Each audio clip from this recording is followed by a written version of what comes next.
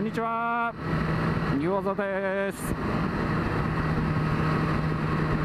えー7月18日、19日と1泊で、えー長野県、えー白骨温泉まで行ってきたいと思います、えー白骨温泉は初めて行く温泉なのですけど、えー結構有名どころの温泉なのですごい楽しみです。え2日目は北アルプス大橋、えーまで行ってみたいと思います、えー前の笠ヶ岳でしたっけね。あの橋から見える笠ヶ笠ヶ岳だけ。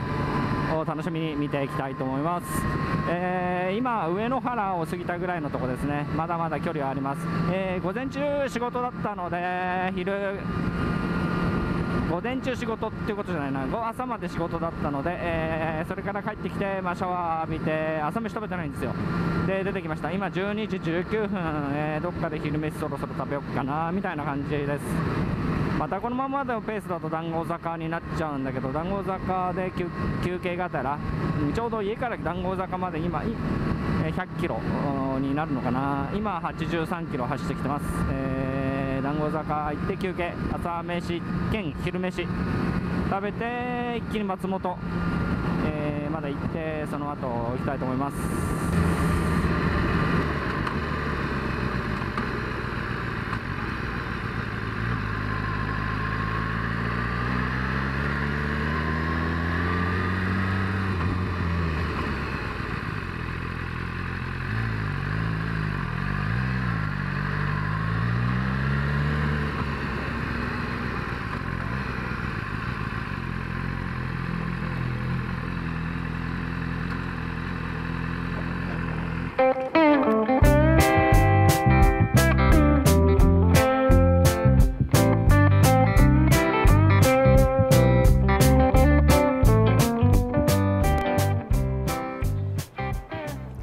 さあガソリンも入れたし松本インター降りました。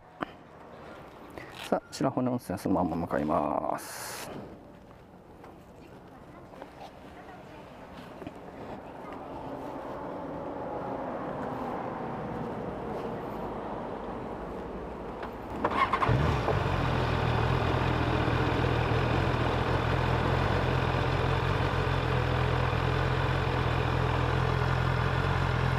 トリップメーター250キロぐらいだったんだ今ないか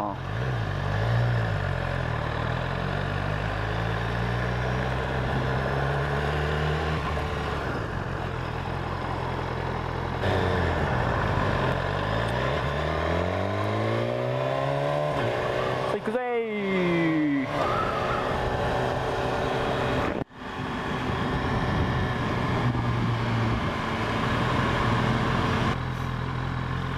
まっすぐまっすぐだねここはバスバスで通ったことあるよね確かね。あのーうん。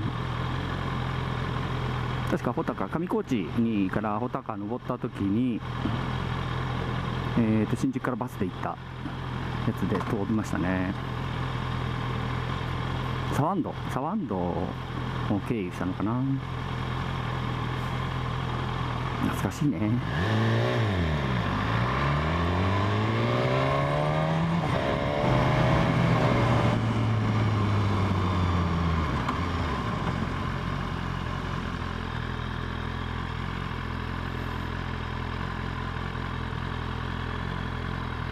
あと37キロあと1時間もかかっかな山道だからかな暑いですなんか東京はゲリラ豪雨でなんか雷鳴ってるっていう噂ですけどちょうどちょうどどこだね団子坂にいた時にちょっと雷鳴ってて山の方ちょっとしたら八王子方面の方がねちょっと雲黒い雲出てたんであれ東京の方は雨かなと思ってたんだけどね。私の方は雨に降られることもなく行き先もなんとか大丈夫そうですね。よかったよかった。不安定なのは今日まあちょっと予報見てないけど不安定なのは今日かな。明日はなんだ、えー北アルプス大橋の方行きたい行くんでいい天気だといいんで嬉しいね。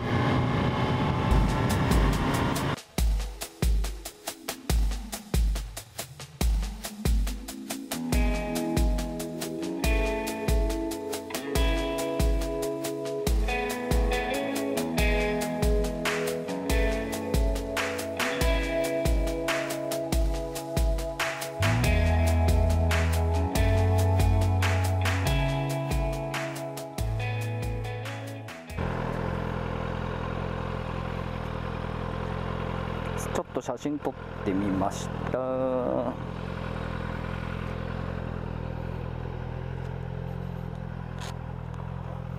水濁ってんね。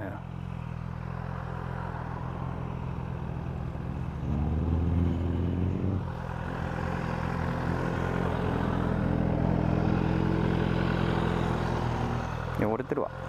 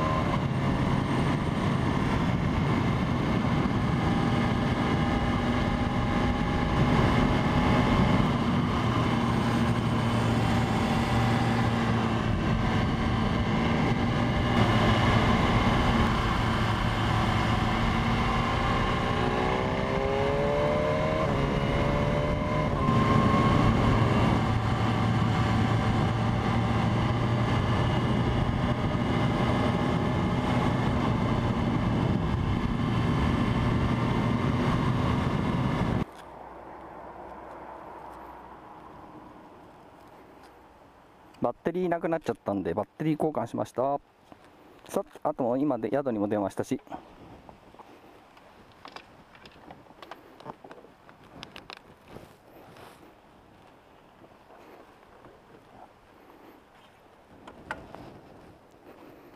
もうちょいだね。